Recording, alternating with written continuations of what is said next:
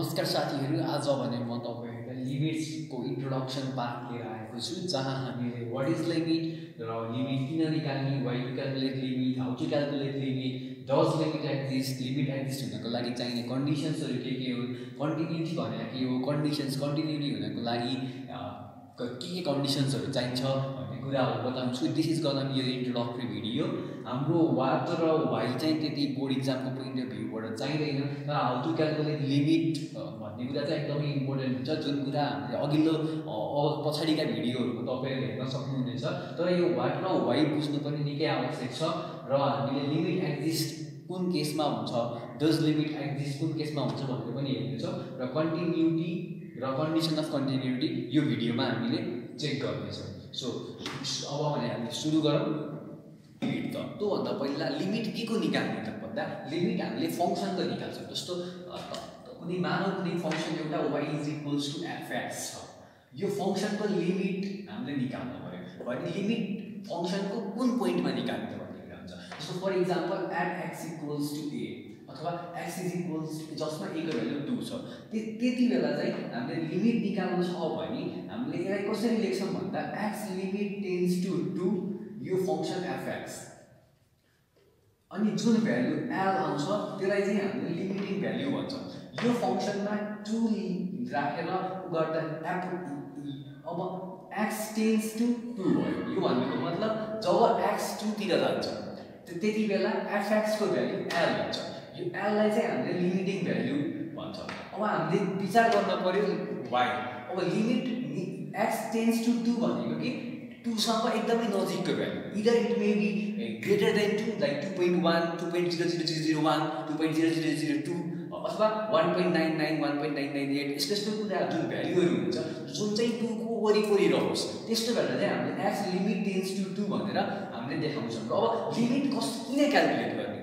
Limit किन calculate गर्ने भन्दाखेरि it is calculated to check whether the gap on the graph is ignorable or not त्यो जुन ग्राफमा एउटा ग्याप हुन्छ जुन हामीले अहिले पछि हेर्नेछौँ त्यो पार्टिकुलर भ्यालु त्यो पार्टिकुलर ग्राफमा भएको ग्याप जुन अथवा ग्याप अथवा सर्टेन इन्डेटर्मिनेन्ट पोइन्टहरू आउँछ त्यहाँ। सर्टेन इन्डेटर्मिनेन्ट पोइन्टहरू आउँछ। अब त्यो इन्डेटर्मिनेन्ट पोइन्टहरू तपाईँको त्यसमा इग्नोरेबल छ कि छैन? त्यो क्यालकुलेट गर्न चाहिँ हामीले लिमिट क्यालकुलेट गर्छौँ अब एउटा मानव एउटा फङ्सन अब मानव एउटा फङ्सन छ x limit tends to two x square minus four x by minus two अब हेर्नुहोस् जब हामीले एक्सको भ्याल्यु टू राख्छ त्यति बेला यसमा इन्डिटर्मिनेन्ट फर्म आयो। भन्नुको मतलब यो फङ्सन टूमा भ्यालिड नै छैन। जब टूमा यसको भ्याल्यु भ्यालिड नै नभइसकेपछि यस्तो ठाउँमा अब यसमा ब्रेक आयो। अब त्यो ब्रेकलाई चेक गर्न जस्तो यो भनेको लगभग यो भनेको टेन्टेटिभली एक्स प्लस टू हो किनकि x square minus four x plus two र एक्स माइनस टूमा ब्रेक हुन्छ एक्स अनि यो डिभाइड बाई टू गर्दाखेरि एक्स प्लस टू मात्रै आउँछ है एक्स प्लस टू मात्रै आइसकेपछि अब यो भ्याल्यु चाहिँ यदि यहाँ एक्सको लिमिट टेन्स टु टू छ भने टूसँग यदि टू राख्यो भने जिरो बाई जिरो फर्म आयो जुन भ्यालिड नै भएन अब यो जुन एउटा भ्यालिड नै नभएको केस छ त्यो भ्यालिड नै अथवा ग्याप आयो टूमा ग्याप आयो अब यो ग्याप इग्नोरेबल छ कि छैन भनेर चेक गर्नलाई हामीले लिमिट चेक गर्छौँ। फर इक्जाम्पल अब यो ग्राफमा यदि यो भनेको एक्स प्लस टू नै हुने भयो नि इक्विभ्यालेन्ट अब एक्स प्लस टूको ग्राफ जेनरली यस्तो हुन्छ। तर यो पार्टिकुलर पोइन्टमा ग्याप भएको भएर हामीले चेक गर्छौँ कि यो पोइन्टमा लिमिट एक्जिस्ट गर्छ कि गर्दैन। अब लिमिट एक्जिस्ट गर्नको लागि के हुनु पऱ्यो यताबाट आउँदाखेरि पनि एउटै भ्यालु दिन्छ। र यताबाट जाँदाखेरि पनि एउटै भ्यालु दिन्छ भन्नुको मतलब यो भनेको तपाईँको राइट ह्यान्ड लिमिट भयो यो भनेको लेफ्ट ह्यान्ड लिमिट भयो। यदि राइट ह्यान्ड लिमिट र लेफ्ट ह्यान्ड लिमिट बराबर छ भने अथवा टेन्टेटिभली एउटै छ भने त्यति बेला नै यो यो स्मल भ्यालु यो ग्याप चाहिँ एकदमै स्मल छ र द्याट क्यान बी इग्नोरेबल भन्ने कुरा हुन्छ। त्यही भएर for limit to be exist right hand limit is equals to left hand limit भन्नुको मतलब त्यो बिचको ग्याप चाहिँ एकदमै कम हुन पऱ्यो in that case limit exist र अब जस्तो u x is equals to two छ x square minus four by x minus two अब यो भनेको एक्ज्याक्टली टू होइन। तर हामीले सल्भ गर्दाखेरि के गर्छौँ टू नै राख्छौँ। किनकि किन टू राख्छौँ? अथवा टू राख्दाखेरि पनि यो f two generally exactly two नभए पनि सिन्स लिमिट एक्जिस्ट गर्छ भन्नुको मतलब यतापट्टिबाट जाँदा र यतापट्टिबाट जाँदाखेरि ग्याप एकदमै कम आयो।